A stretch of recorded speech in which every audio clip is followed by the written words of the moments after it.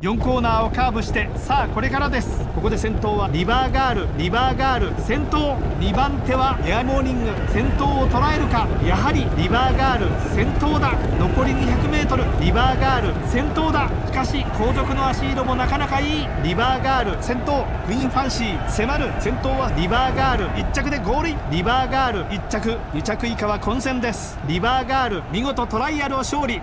本番に向けて夢が広がります。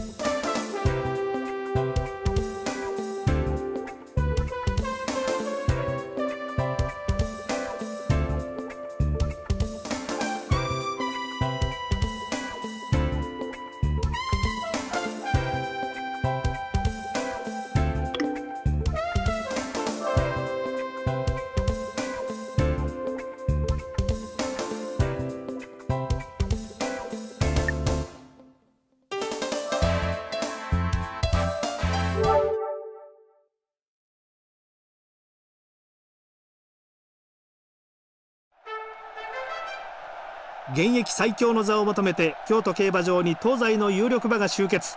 その栄冠をつかむのは歴戦の実力馬かそれとも新勢力か。古馬の最高峰レース天皇賞春の発走です。さあ最後は大外枠のデュークコロネットゲートに入って体勢が整いました。スタートしました。各馬揃った綺麗なスタート。まずは先行争い。ビワハヤヒデ前に行きそうです。これに続くのがノーブルコマンド好位置をキープしています。ステージチャンプ内からはアドマイヤマーチンその外からハイフレンドイースト。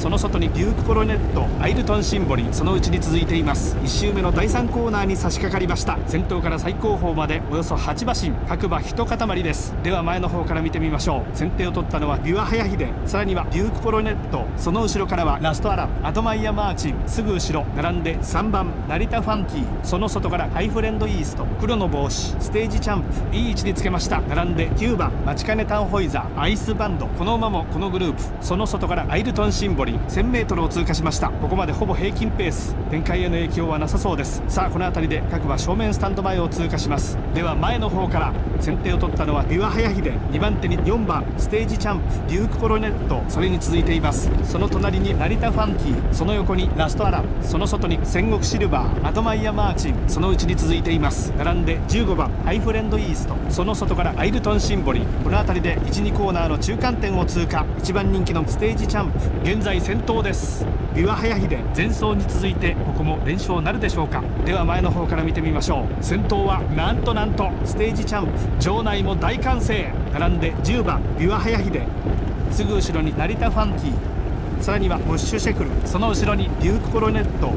赤の帽子ラストアランその後ろすぐ隣にアドマイヤマーチンその横にセンゴクシルバーアイルトンシンボリこの馬もこのグループ京都競馬場3コーナー坂を上りそして下っていきます。ここでナリタファンキー先頭に変わりました2番手はステージチャンプ絶好の手応えですムッシュシェクル3番手ステージチャンプいい位置です。さあここからどうか後続集団も追い上げにかかります。4コーナーをカーブしてさあこれからです。成田ファンキー先頭差はほとんど。ない。2番手は岩早秀先頭を捉えるか。あと 200m 先頭はステージチャン岩早秀必死に追いすがります。岩早秀追いすがります。ステージチャンもうひと伸び。ステージチャンステージチャン1着。2着にはどうやら岩早秀これが世界の実力だ。ステージチャン